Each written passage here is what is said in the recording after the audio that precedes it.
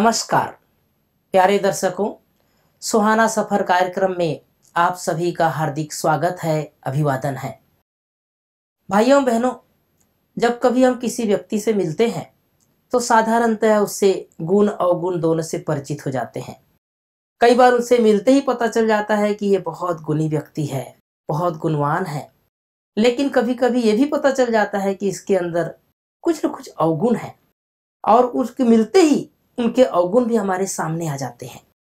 आज हम विशेष रूप से चर्चा करेंगे कि आज कई बार हम सुनते आ रहे हैं, बचपन से सुनते आ रहे हैं कि बड़े बड़े धर्म नेता, चाहे राजनेता, चाहे बड़े बड़े पदासीन उच्च पदों पर जो बैठे हुए हैं, उनके अंदर भी एक अहम झलकता है, अहंकार दिखता है।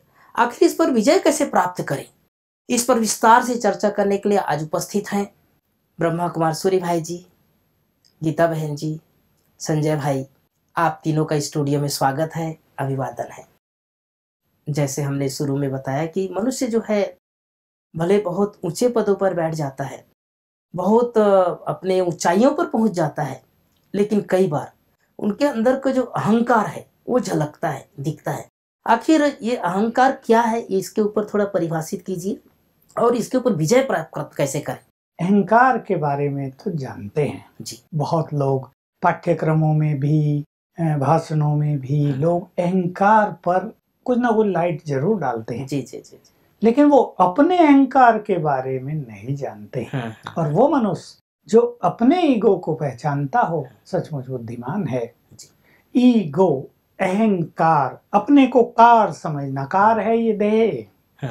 अपने को देह समझना देह अभिमान में रहना ये अहंकार है। मैंपन रखना मैं बड़ा हूँ मैं बहुत बुद्धिमान हूँ मैं बड़ा अधिकारी हूँ मैं धनवान हूँ बलवान हूँ इस मैंपन में रहना ये अहंकार है। और ये मनुष्य का महान शत्रु है। जब तक हम इसको परास्त नहीं करेंगे जब तक हम इसको पहचानेंगे नहीं न तो हम सुख चैन का जीवन जी सकेंगे और न हम अपने परिवारों में शांति पैदा कर सकेंगे। सचमुच अहंकार जब हम देखते हैं चारों ओर सब कुछ दिखाई देता है परिवार डिपार्टमेंट बड़े ऑफिसर्स नेता लोग एक दूसरे के मित्र भी और विरोधी भी वैज्ञानिक भी और एक गाँव का किसान भी एक गरीब भी तो एक भिखारी भी। देखने में आता है कहीं ना कहीं सभी में ये अहम ईगो समाया रहता है। लेकिन पहली चीज़ यही है कि हम अपने ईगो को पहचान लें। ये मोस्ट इम्पोर्टेंट चीज़ है। बहुत अच्छा सब्जेक्ट आपने चुना है क्योंकि इसको पहचानने के बाद हम अपनी आंतरिक शक्तियों में विकास कर सकते हैं अपने टैलेंट्स को बढ़ा सकते हैं। और अपने जीवन को एक सफलता के मार्ग पे सहज ही आगे ले जा सकते हैं। मैं सोच रहा था जी जी जी। देखिए अहंकारी व्यक्ति अपने को बहुत बड़ा समझता है बड़ी ऊँची नज़र से अपने को देखता है पर दूसरों की नज़र में बहुत छोटा होता है। ये बात हम सभी ध्यान रखें और बस एक लक्ष्य बना लें कि हमें इस अहम से अपने को मुक्त करना है। चीज़ें सभी के पास होती हैं सब कुछ सबके पास है। अगर हमें उसका अभिमान होगा तो हम उसका सुख नहीं ले जी जी जी जी। कहने का मतलब ये है कि अहंकारी व्यक्ति को अपने अहंकार को भी जानना आवश्यक है। कि लेकिन जनरली भाई जी हम देखते हैं कि जो अहंकारी व्यक्ति होता है या जिनके अंदर अहंकार है वो अपने आप को ये नहीं समझता कि मेरे अंदर अहंकार भी है। वो अपने आप को ऊँचा ही समझता जैसे आप हाँ बस यही होता है कि अगर सदविवेक उसे प्राप्त हो जाए और ये सदविवेक हमें स्पिरिचुअलिटी से हमें ईश्वरीय ज्ञान से मिलता है। हम लोग भी जब ईश्वरीय ज्ञान में आए तो पढ़ने लिखने में होशियार थे तो एक संकल्प तो रहता था ना मैं बुद्धिमान हूँ और सब लड़कों से होशियार हूँ मेरा पहला नंबर आता है। लेकिन ये नहीं पता था हाँ। कि ये है। गलत हम सोच रहे हैं और इससे हमें नुकसान होगा। मुझे याद है जब हमने दसवीं का एग्ज़ाम दिया तो हम दो फ्रेंड भी थे दोनों स्टूडेंट टॉप मोस्ट थे। कभी उसका एक दो नंबर ज़्यादा कभी मेरा होता था। फाइनल एग्ज़ाम में हाँ। उसके नंबर थोड़े चार परसेंट कम रह गए। आपसे। हाँ जी। तो नेचुरली वो जो एक पास विद ऑनर का सर्टिफिकेट जी, जी, मिलता है वो उसको नहीं मिला। तो उसके फादर मेरे से बहुत हम लोग क्लोज थे परिचित मिलने आए। कहा इस लड़के को बहुत अभिमान हो गया था अपनी। बुद्धि का उसका ही परिणाम है। तो मुझे रियलाइज़ हुआ हम्म, हम्म, कि यार ये अभिमान ऐसा है क्या? कि हम भी तो सोचते हैं बुद्धिमान हैं तो वहाँ से एक डीप रियलाइजेशन प्रारंभ हुआ जी। कि ये अभिमान सचमुच मनुष्य के पतन का कारण बन जाता है। फिर हम इतिहास भी थोड़ा बहुत पढ़ के आए थे ज़्यादा तो नहीं। उसमें एक बहुत अच्छी चर्चा आया करती थी कि राजपूतों का पतन क्यों हुआ जबकि वो। बहुत शक्तिशाली थे। तो दो ही चीज़ें गिनाते थे इतिहासकार अभिमान और ईर्षा तो हमारा इस पे ध्यान चलता गया। तो जैसे आपने कहा कि मनुष्य अगर अपने अभिमान को पहचान ले तो ये एक बहुत सुंदर कदम उसने जीवन में आगे बढ़ाया है ज़िंदगी का आनंद लेने के लिए। इस पर ही आज हम सभी मिलकर चर्चा करेंगे। जी जी जी। आपसे मैं जानना चाहता हूँ कि देखो, जैसे भाई साहब ने बताया कि अहंकार जो होता है, ये वास्तव में हमारी अपने लिए भी एक शत्रु है, परिवार के लिए भी शत्रु है, जिनके बीच में हम रहते हैं। वहाँ पर भी हमारा विकास नहीं हो पाता है। तो वास्तव में थोड़ा सा अहंकार को और परिभाषित कीजिए कि इसका मूल रूप क्या है और इसके ऊपर विजय कैसे पाए। श्रीमद् भगवद गीता में श्री कृष्ण ने स्पष्ट शब्दों में कहा है कि मनुष्य अपना ही शत्रु और अपना ही मित्र है। अहंकार अभिमान को यदि हम परिभाषित करें हम्म, तो मैं बुद्धिमान हूँ ये गलत नहीं हम्म, है हम्म, लेकिन दूसरों को बुद्धू समझना हम्म, ये अभिमान है। जी। मैं ऐसा समझती हूँ कि हर मनुष्य को अपने आप से भी मिलना चाहिए। हम्म, हम दूसरों को जानने की जिज्ञासा रखते हैं। हम दूसरों से मिलते हैं परंतु हम कभी खुद को नहीं मिलते खुद को नहीं जानने की जिज्ञासा रखते। एक बार हम अपने अंतर मन में झाँक कर देखें जहाँ मुझे मेरी विशेषताओं का योग्यताओं का पता है। मैं उनसे रूबरू हूँ वहीं मुझे अपनी खामियों का भी पता रहना चाहिए। हम्म, और जब मुझे अपनी खामियों का पता चल जाएगा रियलाइजेशन हो जाएगा तब मैं उन खामियों को निकालने का भी प्रयास करूँगी। लेकिन उसमें पहला स्टेप क्या होना चाहिए कि मुझे अपने अंतर मन में झांकना पड़ेगा। हम्म, बहुत ही ईमानदारी से। हम्म, मैं दूसरे के साथ ईमानदार हूँ बहुत अच्छी बात है। हम्म, लेकिन सबसे पहले और सबसे बड़ी ईमानदारी वो होगी जब मैं खुद से ईमानदार बनूं। हम्म, और वो तब होगी कि जहाँ मुझे मेरी खूबियों का बहुत अच्छी तरीके से पता है हम्म, वहीं मुझे मेरी कमियों का भी बहुत अच्छी तरीके से पता होना चाहिए। अगर मुझे ये मालूम पड़ गया कि मेरे में ईगो है हम्म, और इस ईगो के कारण ये ये प्रॉब्लम्स जीवन में आ रही हैं हम्म, मुझे भी खुशी नहीं मिल रही। मेरे अपनों को खुशी नहीं मिल रही हम्म, या मैं दूसरों के लिए भी एक अड़चन बन गया हूँ हम्म, दूसरों के लिए भय का कारण बन गया हूँ तो जब ये मुझे पता चल जाएगा कि इस वजह से ये सब हो रहा है तो मैं उसे निकालने का भी प्रयास करूँ। और देखिए कोई भी चीज़ निकालना कोई बहुत बड़ी बात नहीं है मेरी विल पावर और मेरा एक पावरफुल थॉट करने की इच्छा और एक शक्तिशाली संकल्प ही मेरा पहला कदम होगा हम्म, जो इस पर जीत प्राप्त करा देगा। लेकिन अंदर से छोड़ने की इच्छा होनी चाहिए। हाँ, हाँ, और जब तक मैं आई एम राइट मैं बिल्कुल ठीक हूँ हम्म, मैं गलत नहीं हूँ हम्म, मैं जो करता हूँ वो सही है तब तक हम अपनी किसी भी कमी को बुराई को छोड़ नहीं सकते। जी, जब तक मुझे उसके लॉस का पता नहीं चलेगा नुकसान का पता नहीं चलेगा देखिए यहाँ हमारे भारत में भी कुछ रूल्स बने हुए हम्म। हैं चाहे वो सड़कों के हों या और और तरीके के हैं हम्म। देखिए आप गाड़ी में बेल्ट नहीं लगाएँगे तो हम्म, आपको पाँच सौ रुपये फाइन देना पड़ेगा। जी, जी, जी, है ना? एक बार यदि बेल्ट नहीं लगाई और आपको आपकी जेब में से पाँच सौ रुपये देने पड़े हम्म, पनिशमेंट या पेनल्टी जो भी देनी पड़ी तो अगले दिन आपको ध्यान रहेगा कि पुनः मुझे पाँच सौ रुपये ना देने पड़े तो गाड़ी में बैठते ही सबसे पहले आपका हाथ किधर जाएगा? हाँ, तुरंत बेल्ट खींचेंगे हाँ। आज ना पाँच सौ रुपए का नुकसान हो हम्म, जाए। हम्म, हम बाहरी जो रूल्स बने हैं हम्म, जब हमें उनकी पेनल्टी या उनकी पनिशमेंट देनी पड़ती है उनकी तो हम ध्यान रखते हैं चाहे बेमन से ही रखे पर रखते हैं। लेकिन ऐसे ही कुछ अंदरूनी रूल्स हैं हम्म। जो हमारे मन के अंदर से चलते हैं। हम्म, मान लीजिए आत्मा का रूल है खुश रहना प्रेम से रहना शांति से रहना। और उसके विपरीत जब हम काम करते हैं तो हमने अंदर में कोई ना कोई नियम तोड़ा। हम्म। नियम तोड़ा तो हमें आंतरिक रूप से उसकी पेनल्टी देनी पड़ती है। या हमें उसकी पनिशमेंट मिलती है। और वो क्या होती है? वो हमारी खुशी पे भारी पड़ती है। हमारी शांति को छीन लेती है। हम्म, हम्म, हमारे मन में भटकाव की स्थिति पैदा कर देती है। मन मुटाव पैदा कर देती है। ये हमारी पेनल्टी होती है। ये हमारी पनिशमेंट होती है जो आंतरिक रूप से होती है जिस पर हम गौर नहीं करते। हम्म, हम्म, अगर हम जैसे बाहरों बाहरी रूल्स का नियमों का पालन करते हैं ऐसे हम आंतरिक रूल्स का भी पालन करें। जी जी तो जी, किसी की ताकत नहीं कि कोई मेरी खुशी को छीन ले कोई मेरी शांति को छीन ले। कहीं ना कहीं रूल्स का उल्लंघन हो रहा है। हम्म, इसकी पनिशमेंट इसकी पेनल्टी मुझे देनी पड़ रही है। हम्म, अगर मेरा जीवन अशांत है जी जी परेशान है हाँ, मैं टेंशन में हूँ हाँ। डिप्रेशन में हूँ मेरे पास खुशी नहीं है तो कहीं ना कहीं कोई ना कोई कमी ज़रूर है कहीं ना कहीं नियम का उल्लंघन ज़रूर हुआ है और वो मुझे तब पड़ेगा जब मैं शांति से बड़े प्रेम से बड़ी ऑनेस्टी से अपने अंदर झाँक कर। देखूँगी। जी जी जी। यही आज की समस्या है कि मनुष्य जो है अपने आप को नहीं झाँक पा रहा है। दूसरों को देखता है दूसरों के अंदर कमी देखता है, ये भी तो अहंकार है। इनके अंदर तो ज़्यादा अहंकार है, भले अपने अंदर भी रहेगा। संजय भाई, और इसको विस्तार से थोड़ा समझाइए कि जैसे गीता बहन ने बताया कि कई बार व्यक्ति जो है अपने अंदर झाँक नहीं पाता है, अपने अंदर कमज़ोरी को देख नहीं पाता है। तो आखिर ये जो हम चर्चा कर रहे हैं अहंकार के ऊपर, कि मनुष्य के अंदर भले कितने भी गुण हो, लेकिन अगर एक अहंकार व्यक्ति के अंदर है। तो सच में वो झलकता है उसके चलने में उसके उठने में उसके बैठने में। अहंकारी व्यक्ति के सामने कोई जाना नहीं चाहता।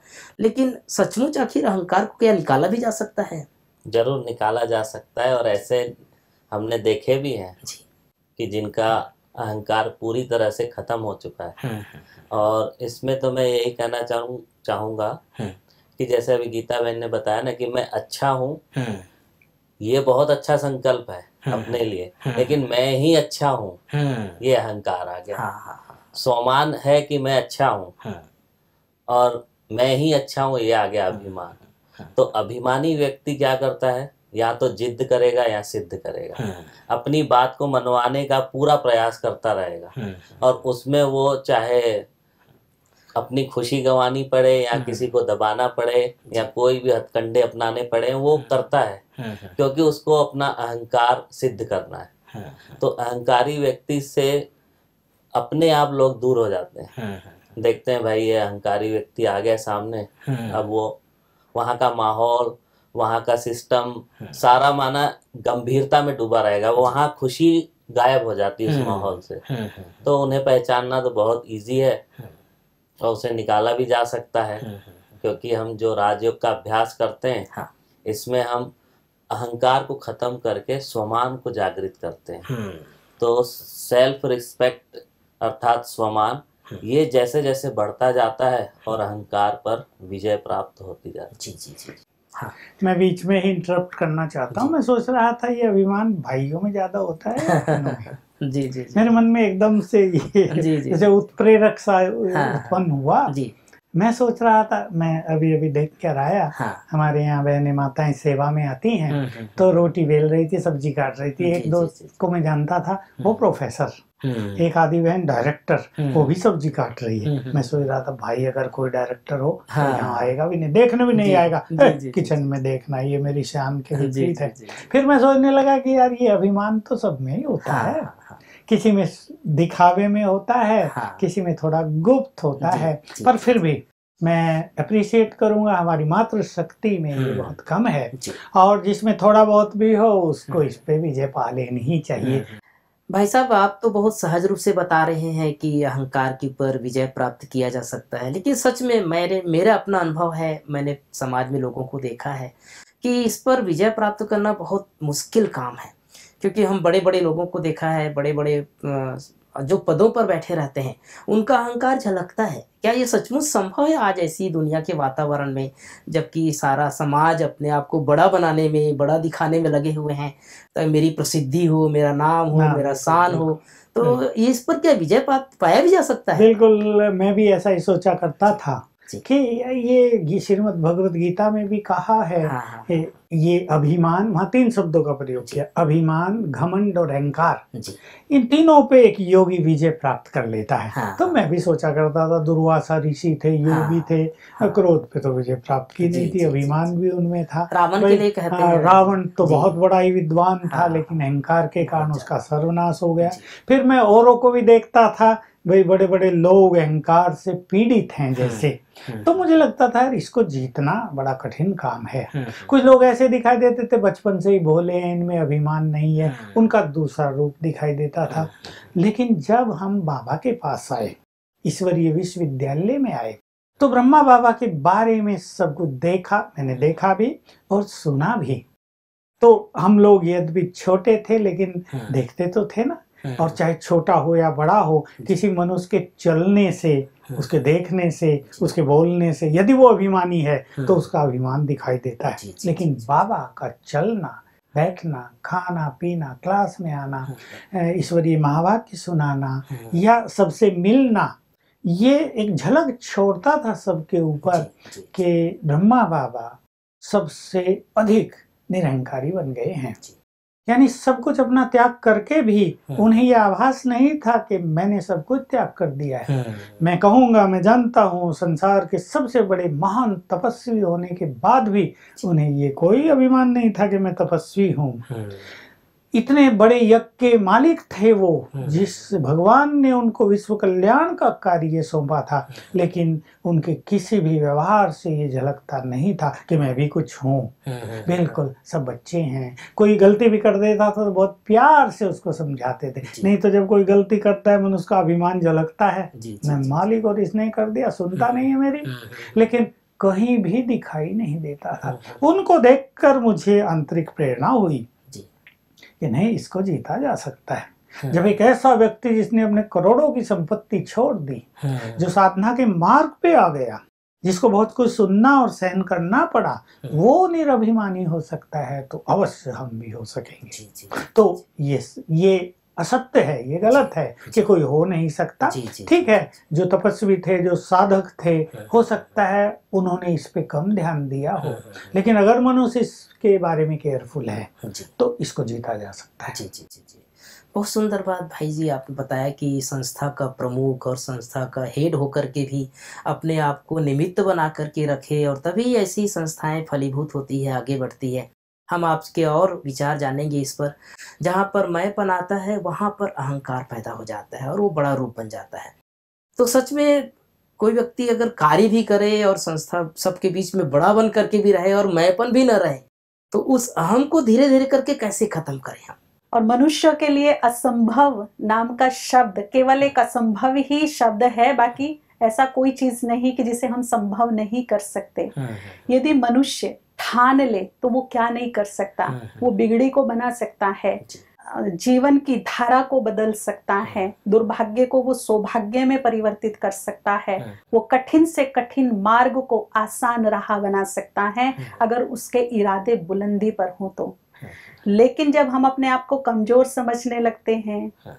जब हम अपने मन की गुलामी स्वीकार कर लेते हैं तब कहीं ना कहीं हमारी हार हमें दिखाई देने लगती है जैसे भाई जी बता रहे थे तो मुझे भी याद है हमारी मनोहर इंदिरा दादी हुआ करती थी जो हमें यज्ञ की हिस्ट्री सुनाती थी। तो मुझे बड़ी अच्छी बातें लगती थी बाबा की। बहुत ही संपन्न जीवन था बहुत ही धनवान रहे हैं वो। लेकिन जब वो यज्ञ में आए संपूर्ण त्याग किया संपूर्ण रूप से समर्पित हो गए तब तो छोटे छोटे काम जो काम उनके कभी सर्वेंट किया करते थे हम्म। पाँच छह सर्वेंट उनके आगे पीछे रहा करते थे वो छोटे छोटे काम बड़े स्नेह से बड़े प्यार से सबके हम्म। बीच में बैठ के किया करते थे। बाबा जैसे फॉर एग्ज़ाम्पल सब सब्ज़ियाँ काट रहे हैं 400 हम्म। लोगों का भोजन बनना है हम्म। तो हमारे बाबा भी बैठ करके सब्ज़ी काटते थे अच्छा अनाज साफ़ कर रही हैं माताएँ दाल साफ़ कर रही हैं तो हम्म। बाबा भी उनके बीच में बैठ साथ करके निभाते थे दाल साफ़ करते थे और। साथ में कुछ ना कुछ शिक्षाएँ भी देते थे जैसे चावल में कुछ काला या कुछ पत्थर निकल गया हाँ, हाँ, तो वो प्यार से वो शिक्षा भी देते थे। देखो चावल तो बहुत अच्छे हैं वाइट है लेकिन ये जो काला दाना है ना ये काला पत्थर है ना ये दूर से ही दिखाई दे रहा है। हम्म, अगर ये इसमें रह गया तो पूरे चावल का स्वाद बिगड़ जाएगा। मुँह के नीचे आएगा कंकरीला लगेगा। इसी तरह से हमारे में दस गुण है ना लेकिन एक बुराई है तो वो इसी तरह से हमारे जीवन को कंकरीला बना देती है। तो ऐसे काम करते हुए बातों बातों में बहुत अच्छी बहुत मिठास से शिक्षा बाबा दे देते थे। हम्म, बाबा ने कभी भी किसी को ये नहीं कहा कि तुम अच्छे नहीं हो। या तुम खराब हो या तुम ये काम नहीं कर सकते हो। हम्म, जैसे बाबा के सामने हर प्रकार के बच्चे बैठे रहते थे। जी, जी, जी, कोई कोई ऐसे भी होते थे जो करेले से कड़वे होते थे हम्म, हम्म, नीम पर चढ़े हुए होते थे। माना टोटली व्यवहार बोल सोच में कड़वाहट भरी होती थी। लेकिन बाबा उसे भी बड़े प्यार से कहते थे तुम तो मेरे मीठे बच्चे हो। और मीठा बोल बोल कर बोल बोल कर उनमें मधुरता का गुण भर दिया। जी, जी, जी, तो ये बाबा की निरहंकारिता है जो वो छोटे से छोटे को भी बड़ा सम्मान देकर प्यार दे करके चलाते थे। हम्म, उनके जीवन में ईगो तो दिखाई नहीं पड़ता था। ऐसे ही हमारी दादी प्रकाश मणि थी। हम्म, हमारे लिए आदर्श हमारी रोल मॉडल थी। इस धरा के लिए एक बहुत सुंदर तोहफा थी हम्म, हमारी दादी प्रकाशमणि। उनका भी जीवन हमने बहुत नज़दीक से देखा जिसमें अहंकार की बू नहीं आती थी। हम्म, जिसने अपने जीवन में झुकना सीखा। हमने कई बार ऐसा देखा कि छोटे किन्हीं ना किन्हीं बात पर या संगठन बहुत बड़ा है आपसी मनमुटाव पर नाराज़ हो जाते थे। हम्म, तो दादी खुद अपने पाँव से चलकर उन छोटों के पास जाती थी उनके सर पे हाथ रखती थी उनको मनाती थी और उनकी तरफ़ से खुद सर झुका करके सॉरी बोल देती थी। जबकि इंटरनेशनल संस्था की चीफ थी वो। लेकिन उनको इस बात का अहम ही नहीं था भाव ही नहीं था कि मैं इतनी बड़ी पोस्ट पर हूँ इतनी आश्रम इतने भाई बहने मेरे अंडर में हैं। ये भाव ही नहीं था। जी, जी, जी, तीसरी बात हमारी दादी जान की। जी, हमारी दादी जान की जो पूरे विश्व में एकमात्र ऐसी महिला है जो। मोस्ट स्टेबल माइंड रखती है। जी, जी, जी, जी, पूरे विश्व में एकमात्र ऐसी महिला है जो 100 साल की होने के बाद भी इंटरनेशनल संस्था का आज भी सुचारू रूप से संचालन कर रही हम्म, है लेकिन उनके पास जाकर देखिए। एकदम निरअहंकारी कोई भी अहम नहीं कोई भी ईगो नहीं। और कभी भी आप उनके पास जाइए ना तो ये नहीं कि वो ऊपर बैठे तो हम ज़मीन पर बैठे हैं। हम्म, वो अपनी बाजू में बिठाती है हाथ मिलाती है सर पे हाथ रखती है प्यार करती है। हम्म, उनके पास जाकर ऐसा लगता है जैसे हम अपनी दादी माँ के पास आए हों। वही दुलार वही प्यार हमारी दादियों में हमें देखने को मिलता हम्म, है। यहाँ छोटे भाव छोटे बड़े भाव का गरीब अमीर का कोई भेदभाव है ही नहीं। एक होमली फीलिंग हमारी दादियों ने हमें दी जबकि वो इतने ऊँचे पद पर बैठी हैं। अगर उनके जीवन में ईगो नहीं है और वो अपने अहंकार को जीत सकती है हम्म, तो वो मेरे लिए भी पॉसिबल है। या तो वो पॉसिबल किसी के लिए नहीं होता। और यदि कुछ महान आत्माओं ने इस पर विजय प्राप्त की है। इस पर अपनी अधिकार दिखाया है कि हम अहंकार को जीत सकते हैं। अगर वो जीत सकते हैं तो हम भी जीत सकते हैं। अच्छा, मैं फिर से वही बात कहना चाहूँगी कि हम झांकें अपने अंदर। हम्म, जब तक हम झांकेंगे नहीं रियलाइज़ नहीं करेंगे तब तक हम चेंज नहीं कर पाएँगे। आज विशेष रूप से हमने ये जानकारी प्राप्त की है और सीखा भी कि एक व्यक्ति कैसे अपने अहम को खत्म कर सकता है। उसको नीचा कर सकता है, दूसरे गुण को विकास कर सकता है। भाई जी, आपने बताया कि दादी के बारे में, बाबा के बारे में, इस संस्था का प्रमुख, इस संस्था का संचालन करते हुए भी कैसे बच्चों के साथ, बच्चे बन करके बड़ों के साथ, बड़े बन करके सुनने में तो संभव लगता है, लेकिन चूँकि आपने बहुत बचपन से, आप भाग्यशाली हैं, उनको नज़दीक रहे हैं, देखे हैं तो हमें जानने को मिला कि सच में इस पर विजय प्राप्त किया जा सकता है। बहुत सुनने का मन कर रहा है और भी आपसे सुनते रहेंगे, लेकिन समय की एक सीमा है। आज तीनों आप उपस्थित हुए, बहुत सुंदर सुंदर विचार रखे, उसके लिए पुनः धन्यवाद। प्यारे दर्शकों, सचमुच, इस संसार में असंभव नाम की कोई चीज़ नहीं है। सब कुछ संभव है। हम बाल्यकाल से ही ये सुनते आ रहे हैं कि संभव तो सब कुछ है, लेकिन करना कोई चाहता नहीं है।